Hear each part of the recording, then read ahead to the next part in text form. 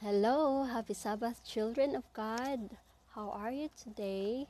I hope that you're also excited to listen our new story for this morning because I'm also excited to share our story. It's all about the birds. Who among you here love birds?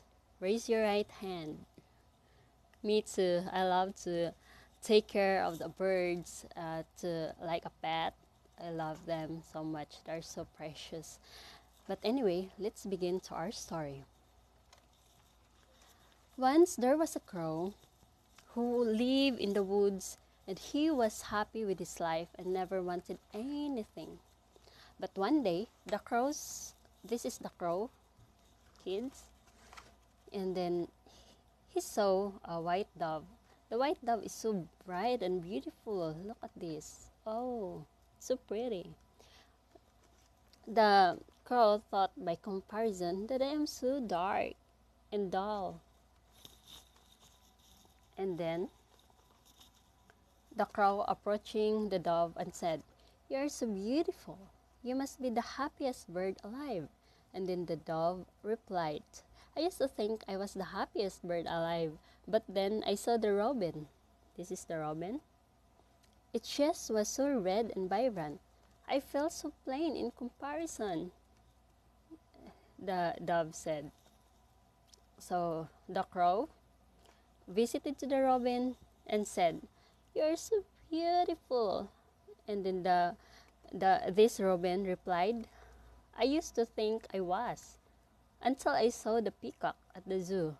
My red chest looked so boring by comparison. I think the peacock must be the happiest bird alive.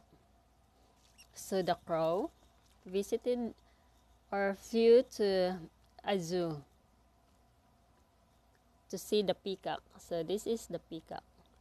And then many people flocked to the peacock's cage and took photos.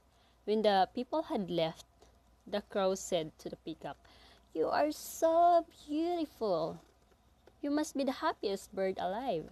And then the peacock sighed and said, I thought I was the happiest bird alive. But then they put me in the cage because of my beauty. Sometimes I look to the sky and see crows flying free, and all I want is, is to be a crow. So, little children, by comparing ourselves to others, we lose sight of God's blessings that He gave us. According to Galatians 6, verse 4, each one should test his own action and he can be content in himself without comparing himself to somebody else. So that's all our story today.